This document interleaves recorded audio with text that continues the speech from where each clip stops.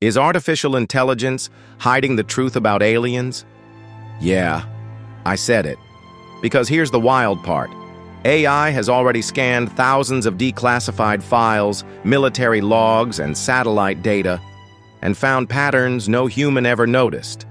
Like the 1977 WOW signal. AI flagged it at 1420 megahertz. That's the hydrogen line, the cosmic, hey, we're out here frequency.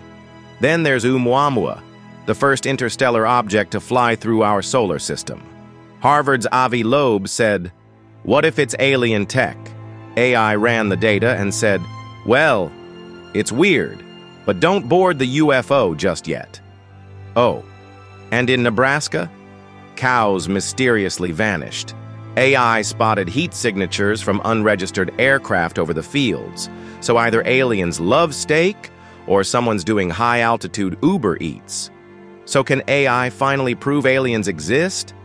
Nope, because AI doesn't believe, it just calculates. Sure, it can analyze a billion UFO sightings and say, statistically fascinating. But will it ever scream, Take me to your leader?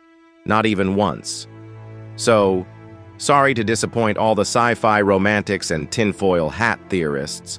Turns out the only alien intelligence watching us might just be us, confused by our own tech, and cows with commitment issues.